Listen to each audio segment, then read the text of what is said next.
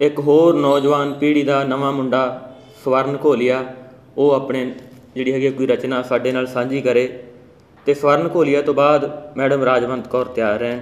ਪਹਿਲਾਂ ਸਵਰਨ ਘੋਲੀਆ।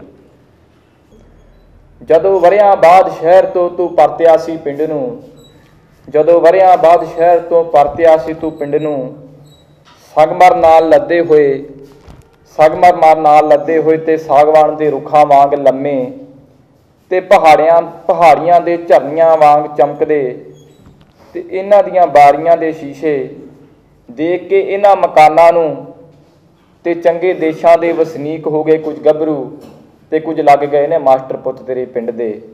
ਦੇਖ ਕੇ ਤੂੰ ਬੜੇ ਹੀ ਆਸਾਨ ਸ਼ਬਦਾਂ ਵਿੱਚ ਕਹਿ ਦਿੱਤਾ ਸੀ ਕਿ ਬੜਾ ਹੀ ਖੁਸ਼ਹਾਲ ਹੈ ਮੇਰਾ ਪਿੰਡ।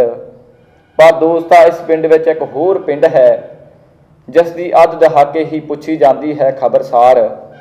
ਤੇ ਦੇ ਦਿੱਤੀ ਜਾਂਦੀ ਹੈ ਲਾਰਿਆਂ ਦੀ ਫਿਰ ਚੋਗ। ਸਾਵਣ ਦੇ ਮਹੀਨੇ ਇੱਥੇ ਗੀਤ ਨਹੀਂ ਗਾਏ ਜਾਂਦੇ। ਇੱਥੇ ਹੰਝੂ ਡਿੱਗਦੇ ਨੇ ਖੁਰਦੀਆਂ ਕੰਧਾਂ ਦੇਖ ਕੇ ਤੇ ਡਿੱਗਦੇ ਵੇਖ ਕੇ ਕੋਠੇ। ਇੱਥੇ ਬਾਲਾਂ ਦੇ ਤਨ ਤੇ ਤਨ, ਇੱਥੇ ਬਾਲਾਂ ਦੇ ਤਨ ਤੇ ਚਮਕਦੇ ਦਮਕਦੇ ਕੱਪੜੇ ਵੀ ਨਹੀਂ ਮਿਲਦੇ, ਜੋ ਸੁਨਹਿਰੀ ਗੋਟਿਆਂ ਵਾਲੇ ਹੁੰਦੇ ਨੇ। ਇੱਥੇ ਤਾਂ ਮਾਂ ਦੀ ਕੁੜਤੀ ਦੀ ਪਾਟੀ ਹੋਈ ਬਗਲ ਫੜ ਕੇ ਰੋਟੀ ਰੋਟੀ ਪਕਾਰਦੇ ਫਿਰਦੇ ਮਿਲ ਜਾਣਗੇ ਤੋਤਲੇ ਜਿਹੇ ਬਾਲ।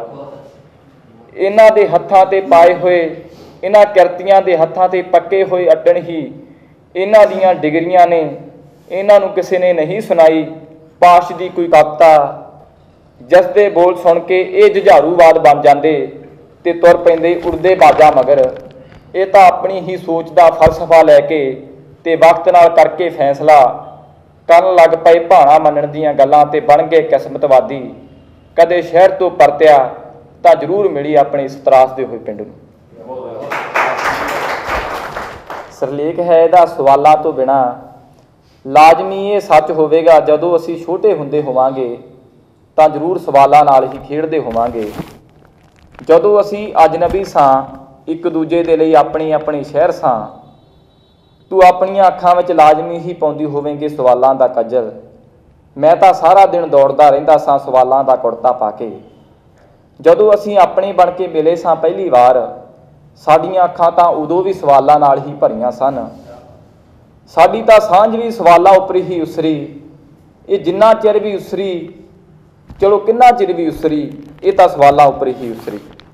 ਫਿਰ ਸਾਡੇ ਦਿਲਾਂ ਵਿੱਚ ਦਰਾਰਾਂ ਪੈ ਗਈਆਂ, ਫਿਰ ਦਰਾਰਾਂ ਤੋਂ ਦੂਰੀਆਂ ਬਣ ਗਈਆਂ।